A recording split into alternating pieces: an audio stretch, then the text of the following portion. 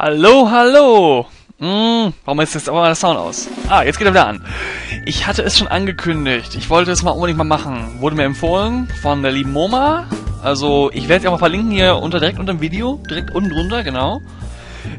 Es sei denn, die ändern wieder das Kanaldesign, dass es irgendwie seitlich oder so ist oder dass es irgendwie oben drüber oder so ist. Aber ja, ich werde es auf jeden Fall verlinken. Ähm, sie hat mir dieses Spiel empfohlen. Und zwar Edna bricht aus. Ich habe die Demo schon gezockt. Also die Demo, ähm, ich weiß schon wieder, wie das da so abgeht. Die ersten drei, vier Räume. Ja, Leute, ich sagen, wir fangen jetzt einfach mal an. Und warum geht's jetzt nicht? Game, hängst du dich auf? Ja, ich spiele im Fenstermodus, so anders, kann ich, anders geht's nicht aufnehmen. Gut, es geht. Intro!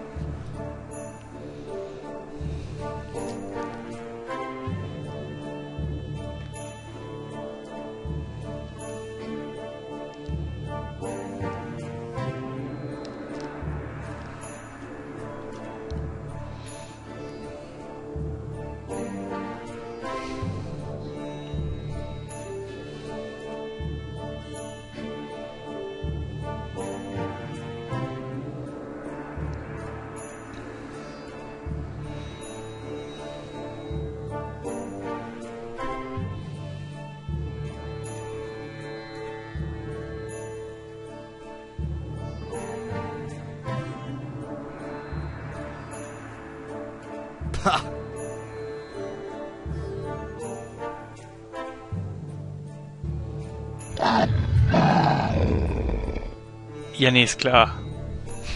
ich finde das Intro zu geil. Hab ich auch ein Mikrofon an? Ja, hab ich an.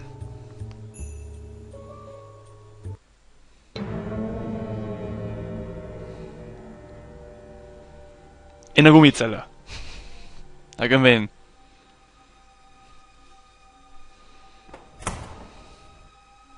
Was ist los? Ach nichts. Dupidu, bidu, bidu, bidu. Ha!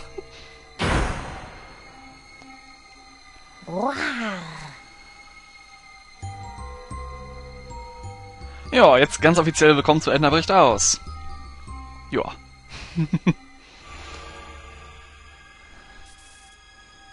Und wie man sieht, die kleine Lady da, die wir spielen, das ist Edna. Wir können sie rumführen, das ist ein Point-and-Click-Adventure. Ich bin nicht so der... Übrigens hat sie sehr heiße Mode an. Also neueste Schrei. Ein Kittel mit, äh, mit ihrer Unterhose. Ja, neueste Schrei. Mit Leertaste können wir sehen, was wir alles benutzen können. Ja, wir können einiges benutzen. Wir können auch mit Sachen reden. Zum Beispiel reden wir mal mit dem Stuhl. Hallo Stuhl. Du bist ein fauler Nichtsnutzstuhl. Ich habe da so Spaß dran, weil das wollte ich schon, also das finde ich echt geil. Das, das, das wollte ich lange schon mal zeigen. Stehen bleiben, Tisch. Man kann mit allem reden. Bist du eines von diesen Schallschluckpolstern? Das redet auch voll mit einem. Ich nehme das als Ja. Genau. So einen hätte ich gerne für meinen Balkon. Ob ich wohl einen Balkon hatte? Ich kann mich an nichts erinnern. Oh. Ja, das ist Inventar. Wir haben einen Hasen hier. Mit dem Stuhl. Was denkst du über diesen Stuhl, Harvey? Er verbirgt etwas. Und ja, der Weißt redet. du? Er sieht so nutzlos aus. Das täuscht. Glaub mir. Das war ein Hinweis. Wir können ihn nämlich benutzen. Ich habe hier lange genug gesessen. Ja, beziehungsweise. Mal sehen, wie abschraubbar dieses Stuhlbein wirklich ist. Genau. Jetzt haben wir ein Stuhlbein. Was machen wir damit? Wir hauen uns gegen den Tisch. Quatsch. Ups, ich habe mein Stuhlbein kaputt gemacht. Ja, Baby. Nehmen wir die Bude auseinander. Ja, jetzt haben wir ein spitzes Stuhlbein. Damit können wir dann hier die Polster aufreißen. Schlitz. Übrigens, wenn sich jemand an der Auflösung stören sollte, das Game hat diese Auflösung nur. Man kann sie nicht einstellen. Das finde ich auch schon ein bisschen dämlich, aber kann man da nichts dran ändern. Ich weiß nicht genau, welches es war, aber jetzt müssen wir auf jeden Fall mal hier mit den Gittern reden. Hallo? Hallo? Hört mich wer? Was willst du? Ich will hier raus. Vergiss es. Wie redet der denn mit uns? Aber so einfach lassen wir uns nicht abspeisen. Stimmt's? Ja klar, wir reden nochmal mit dem. Hey, Mach nicht so einen Lärm da drin. Was willst du? Mm, wo bin Wo ich? bin ich hier? Schätzchen, wenn ich jedem Irren das beantworten würde, könnte ich nicht einmal mehr zum Klo gehen. Oh, Hör zu, Süße. Ich werde nicht fürs Reden bezahlt. Ist noch was? Warum kann ich mich an nichts erinnern? Das werde ich bestimmt nicht noch einmal erklären. Nur damit du es nach der nächsten Behandlung wieder vergisst. Wer bin ich? Der mit Abstand nervigste Patient, den ich je bewachen musste. das ist nett. Patient? Bin ich denn krank? Ich fühle mich nicht krank. Hör mal, Süße. Du bist in einem Raum mit gepolsterten Wänden. Beantworte dir die Frage einfach selbst. Warum ist es so heiß hier drin? Oh. Das liegt wohl daran, dass die Klimaanlage aus ist. Was denn für eine Klimaanlage? Man sieht sie nicht. Hier ist keine Klimaanlage. Wie der lacht, ey. du etwa, der Doktor ist so verrückt, dass er dir einfach so einen offenen Lüftungsschacht in die Zelle baut? Ich weiß, wo sie ist. Die Klimaanlage ist natürlich unter den Polstern versteckt. Hinweis. So, so. Eine Klimaanlage unter der Polsterung. Das ist natürlich weitaus intelligenter. Stellst du mir bitte die Klimaanlage an? Mal sehen. Wenn du dich ab jetzt ruhig verhältst, dann vielleicht. Später. Was ein Sausack. Ich bin nicht verrückt. Stimmt's nicht, Harvey? Genau, sie ist nicht verrückt. Hörst du? Harvey stimmt mir zu. Genau. Ihr seid schon ein ulkiges Paar. Ihr zwei.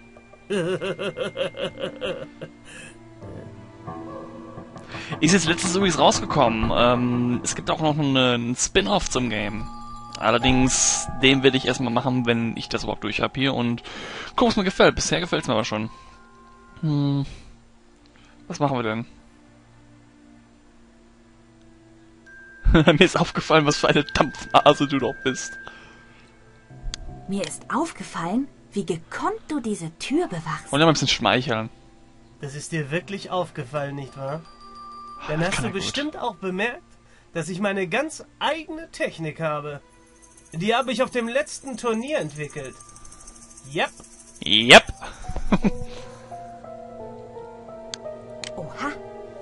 Dann bist du sicher ein berühmter Sportler. Spielst du in einer Mannschaft oder so?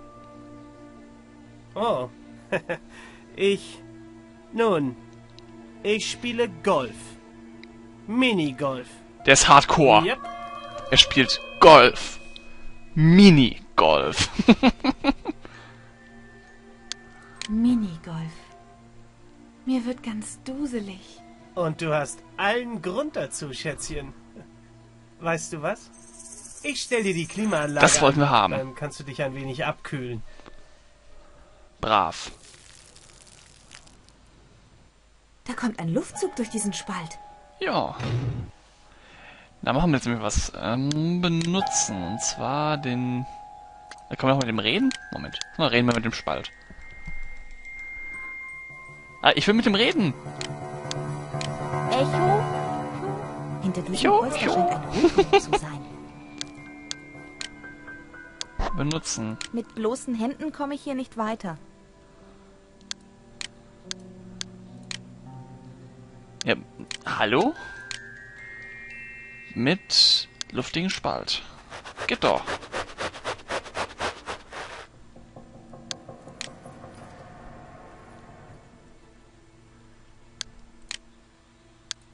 Hallo, kleiner Ventilator. Ah! Möchtest du eine Banane? Habe leider keine Banane für dich. Oh. Oh. Dieses Game ist genial. Sesam, öffne dich. Hm, das war wohl der falsche Spruch. Yo, Schraube! Juh mich nicht an, du Subjekt. Hey, Schraube, bleib mal locker. Ach nee, ey. Ohne Werkzeug kriege ich die nicht ab. Damals hättest du das gekonnt. Wie meinst du das? Damals hättest du die Schrauben lösen können. So meine ich das. Okay. Ähm, hallo? Hallo Edna. Was gibt's? Was meintest du mit diesem damals Quatsch? Naja, früher hattest du einige coole Tricks drauf. Ja. Jetzt kommt's nämlich das Wichtige. Warte mal. Hm, was sagen wir denn? Konnte ich mit brennenden Kettensägen jonglieren? Hm, glaube ich nicht. Barfuß Polka tanzen. Hört sich auch interessant an. Hm, mit Delfinen springen hört sich gut ich an. mit Delfinen sprechen? Das hört sich toll an. Das wohl eher nicht. Schade. Aber ein paar dämliche Schrauben waren nie ein Hindernis für dich. Ich war sicher super lässig als Kind. Was weißt du noch? Äh, so funktioniert das nicht. Vergiss nicht, ich bin nur eine Projektion deines Unterbewusstseins. Nobody's perfect. Oh. Kann dir auf die Sprünge helfen. Aber dazu musst du mir Sachen zeigen, die dich an deine Kindheit erinnern. Wie die Schrauben? Exacto, Lucci. Exakt. Und dann? Lutschi. Dann tempomorphe ich uns in die Vergangenheit. Cool. Mhm. Ähm, hallo? Hallo Tempomorphen. Edna. Was gibt's? Genau. Was meintest du mit diesem... Das hatten wir gerade schon? Naja, Konnte ich mit Brenn... das wohl eher nicht. Aber ein paar Däm... Ich war sicher. Was weißt du noch? So funkt... Das Vergiss hatten wir schon alles. Ich glaube, ich muss nochmal die Schraube benutzen. Aber dazu musst du mir Sachen zeigen. Wie die Schrauben. Exacto. Und dann? Dann Cool. Ja, ist cool. Ich bin bereit, Harvey. Genau so war das. Ja, in die stimmt. Vergangenheit tempomorphen? Was genau meinst du mit Tempomorphen? Tut das weh? Tempo Wird ist Körper Zeit. dabei in seine Morph. Moleküle zerlegt Keine Ahnung. und rückwärts durch die Zeit gebeamt? So ähnlich. Yippie! Dass sie sich dabei freut. Tempomorphe Ach. mich in die Vergangenheit. Wie du willst. Halte dich fest. Hui.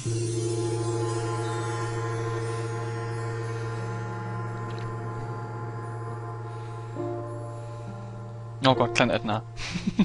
Das ist also die Vergangenheit? Zumindest sieht das hier nach unserem alten Keller aus. Und sieh mich an. Ich bin jung. Es sind etwa zehn Jahre, die wir zurückgesprungen sind. Muss ich jetzt aufpassen, dass ich nicht meinen Großvater überfahre und so? Nicht mehr als sonst. Wir sind ja lediglich in deiner Erinnerung. Verstehe. Also kann ich auch ruhig auf Dinosaurier-Eier treten. Wenn du welche findest. Ich weiß, welcher Tag das hier ist. Mein Vater hat mich in den Keller gesperrt, weil ich einen Nachbarjungen geärgert habe. Oh. Sein Name war Albert oder Alfred, Alfred Marcel. Alfred Marcel? Doch nicht wie Dr. Marcel? Doch, doch. Er ist der Sohn von dem Doktor, der das Irrenhaus leitet. Ui. Aber das soll uns jetzt nicht weiter stören. Wir sind hier, um dir beizubringen, wie man Schrauben ohne Werkzeug löst. Na dann. Tja, ich muss mich auch erst einmal orientieren. Lass mich bitte anfangen. Wir können uns dann ja abwechseln. Einverstanden? Einverstanden. Joa. Hier steht jetzt, das ist ein bisschen sehr schwer zu erkennen, Harvey kann per Drag and Drop sogenannte Topics, also Themen, auf Edna ziehen, um sich mit ihr darüber zu unterhalten. Also, ja, bekommt ihr labern. Zum Beispiel mit Holzscheit, labern mit ihr darüber. Würde sie etwas später benutzen, kann er sie auch in die Leiste, also die unten, äh, an unteren Bildenrand ablehnen, äh, Bildschirmrand ablehnen. Äh, Bildrand steht da. Bildschirmrand heißt es aber populär. Geht zu Tipp gelesen, verstanden. Ja, haben wir verstanden. Zum Beispiel können wir mit der Hake reden. Kommst du nicht mit der Hake ans Fenster? Das klingt ja fast so, als wenn das klappen könnte. Wenn du mich ranlässt, kann ich es ja ausprobieren. Hey, Edna, kannst du vielleicht das Fenster für mich aufmachen? Da komme ich selbst nicht ran, Harvey. Meinst du, sonst säße ich noch hier unten? Ja, dann wollen wir mal eben Wechseln. Da unten können wir nicht wechseln.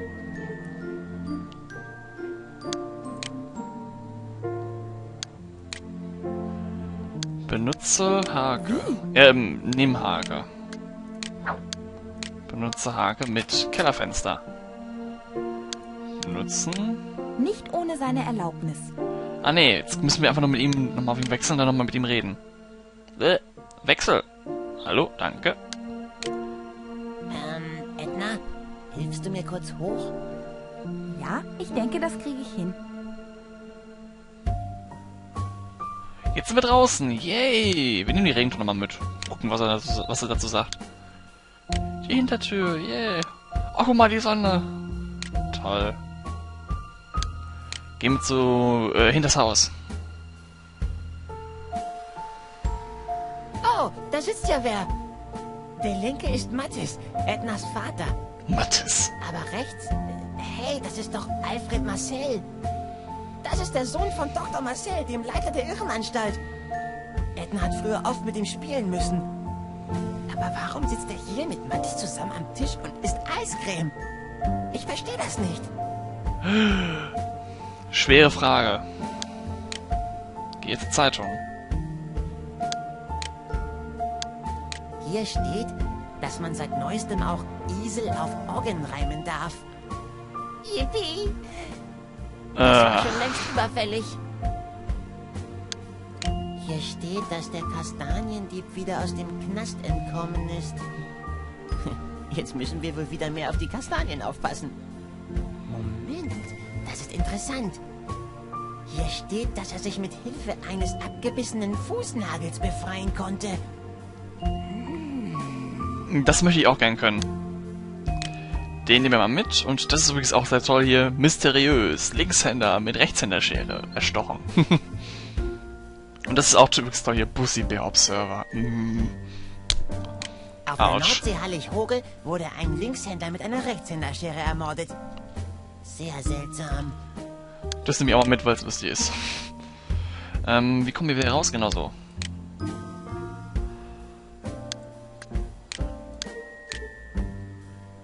Träum ich etwa? Das ist doch Alfred. Das hatten wir vorhin schon. Er. Und hier sitzt er zusammen mit Ednas Vater bei einem... Irgendwie hängt sich gerade das Game auf. Das lief wahrscheinlich daran, dass ich im Fenstermodus. Nee, doch nicht. Ich wollte schon sagen gerade. Die bewegen sich ja noch weiter. Der Text war aber mal weg. Das hat ein bisschen... War ein bisschen verwirrend.